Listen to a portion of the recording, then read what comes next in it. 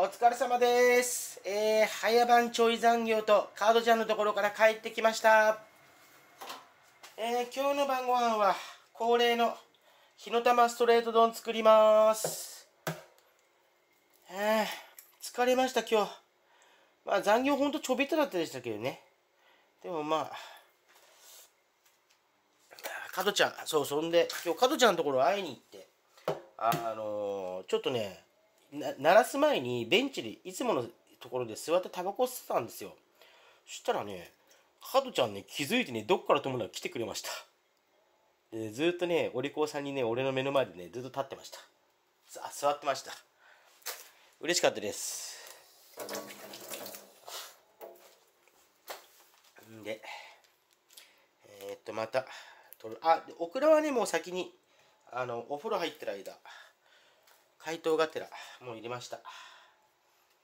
でね、とろろもね、今日ね、朝家出るとき、あの、冷蔵庫に保管しといたんですよね。そしたらね、いい感じにね、解凍されてました。もう9割ぐらい。そう。本当にね、疲れた。そんで、あの、今日はあのコミュニティにもあげたんですけど、ここ、本当2週間ぐらい、ずっと2、3時間しか寝てないんですよね。まあ、日によって4時間ぐらい眠れた時もあるんですけど、でもそれも、あの、断続的なんですよね。あの、連チャンで4時間とかじゃなくて、起きて寝て、起きて寝てだから。ね、今日ね、あんまね、俺、休憩時間で寝るってことないんですけど、今日寝ちゃいました。20分ぐらいかな。うん、座って寝てたからね、そんな熟睡はできないですけど、でも意外と熟睡できた気がするんだよな。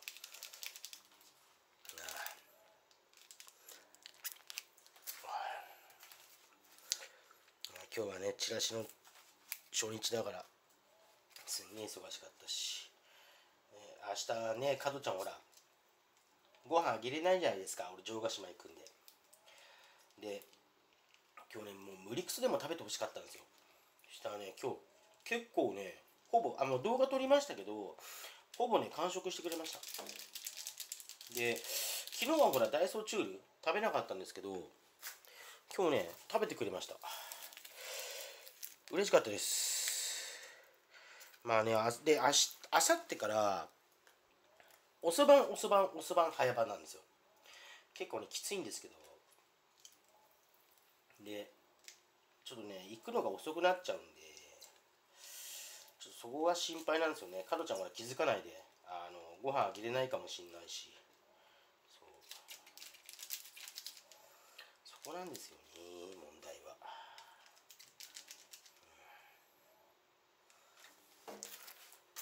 よいしじゃ次納豆入れます。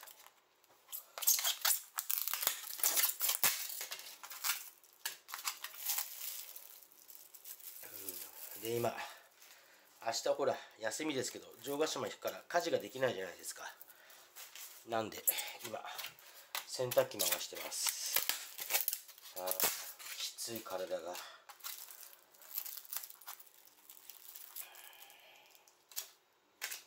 あの袋の退院の時から休んでないんですよね。あその前か。確か。だからね2週間ぐらい純粋に体休めてないんですよ。でこの前の休み日曜日あのゆっくりしようと思ってもら携帯があの電源入らなくなって。結局遅番の時間とはいえねとりあえず起きてすね au 行って。まあでも行ったおかげでねあのなんだっけ。えっ、ー、と27日以降だったら4000円安くなるって言われて。まあそれで一応2000円で2500円だっけな。で交換できるから。まだマシかと思って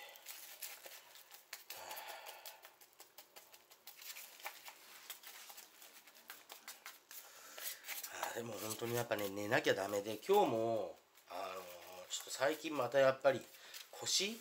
そう眠れないじゃないですか。今日ね久々にねロキソニン貼りました。湿布っていうなんで毎日貼らないかっていうと慣れちゃうじゃないですか。で慣れるとあの本当にここ一番の時効かなくなっちゃうんで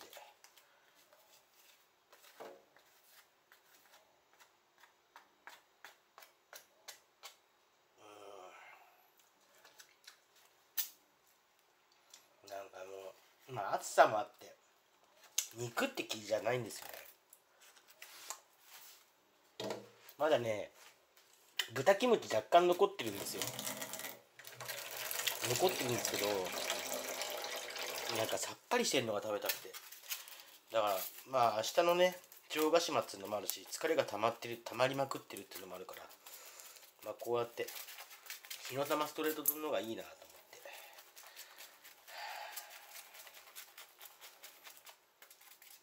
あそうそうそうそう。俺あのー、市からなんかね結構ねお金が入るんですよ。まとまったお金が。あの今回のなんだっけ。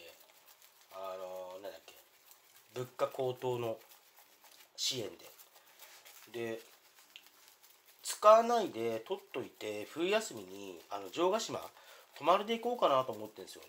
城ヶ島クラブさんに泊まって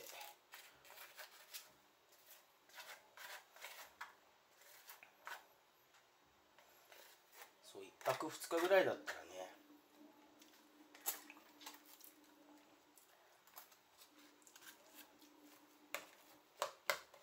よし。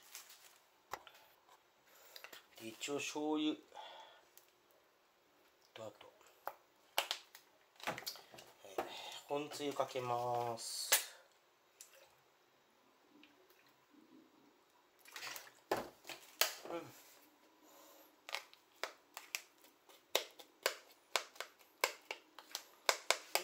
簡単。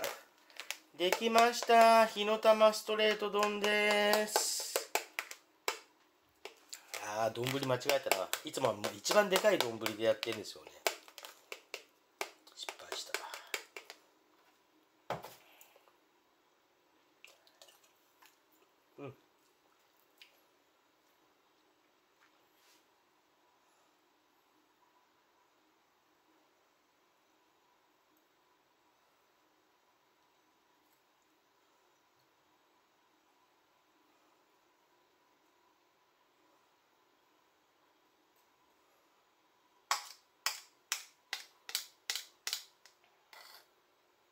2が濃ゆいいね。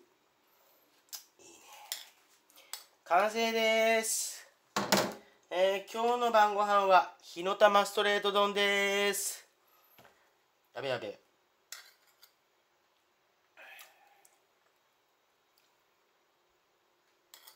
いしょ。ではいただきます。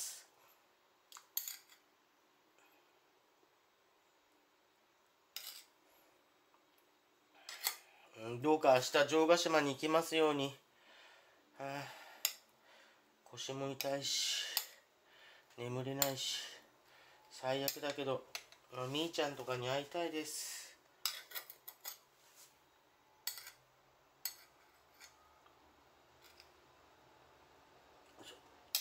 いやもういい加減食べます。